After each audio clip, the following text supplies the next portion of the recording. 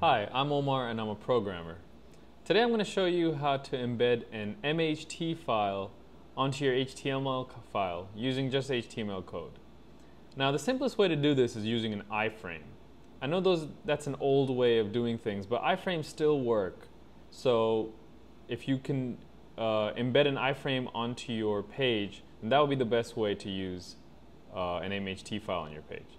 So let's open up your favorite HTML editor. I'm using uh, TextEdit just to make it simpler, but you can use whatever, whichever one you want.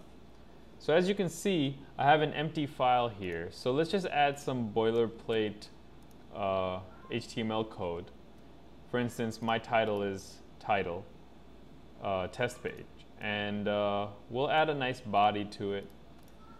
And uh, we just add a body tag here and we close off that body tag now so we don't forget to later on. And we'll also close up the HTML tag as well, because that's just good practice. So the way to embed an MHT file is to, like I said, use an iframe. And the code you want to put is iframe source equals the test MHT file that you want to use. We'll put width equals 100% so it takes up the whole page. And the height you can set to whatever you want, 80 or 800. I chose 800. After that, we want to put a paragraph that tells the person that you, you cannot have an iframe set up. Uh, if, you, if you don't have an iframe uh, support, we want to add the paragraph that tells the person that. And then go ahead and close your iframe tag.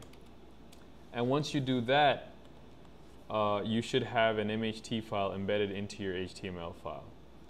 I'm Omar and I just showed you how to embed an MHT file into your HTML file using nothing but HTML code. Thanks for watching.